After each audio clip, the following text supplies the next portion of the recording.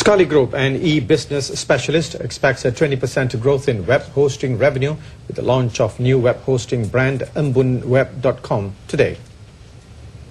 Scully president and co-founder Aimi Rizal Nasharuddin said EmbunWeb was poised to attract more local small and medium entrepreneurs to create larger presence in the market as well as strengthen marketing strategies. He said EmbunWeb can provide opportunities for entrepreneurs to learn more about information technology and marketing strategies, especially among Bumiputera entrepreneurs. He said this to reporters after the launch ceremony in Kuala Lumpur.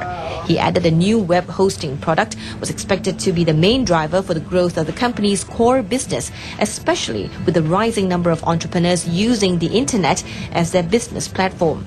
Last year, Scully recorded 4.6 million ringgit in revenue from the web hosting business and experienced about 10% growth. Presently, web hosting accounted for 20 to 30% of the company's total revenue.